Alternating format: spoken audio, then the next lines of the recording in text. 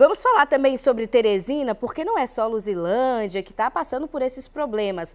A nossa equipe de reportagem, para você ter uma ideia, andando pelas ruas da capital, recebeu reclamações de moradores da Zona Sul, mais especificamente de pessoas que passam ou que moram perto ali da Avenida Marechal Castelo Branco. Os moradores enfrentam transtornos gerados pelas fortes chuvas das últimas semanas. Você está vendo aí nas imagens a dificuldade que os condutores e também os pedestres têm para passar pelo local. Há situações, inclusive, em que não é possível nem desviar. Você está vendo aí carros passando exatamente em cima do buraco.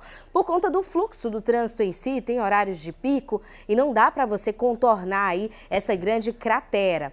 Quando nós capturamos essas imagens, uma comerciante chamada Dona Elizabeth Moraes falou com o nosso repórter Júnior Medeiros, que era quem estava trabalhando neste momento, e relatou um pouco sobre a situação que ela enfrenta diariamente. Vamos acompanhar.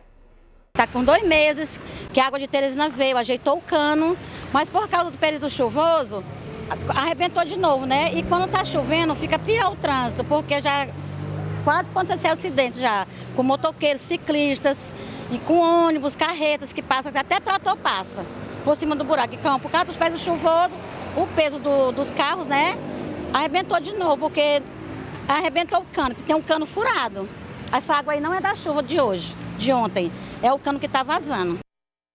Pois é, e eu também posso comprovar por experiência própria. Passo por esta avenida todos os dias para chegar até o trabalho e já tive momentos em que infelizmente ali não deu para fazer o desvio, tive que passar por cima e aí a gente pede, né, para que a, o amortecedor do carro resista diante dessas situações.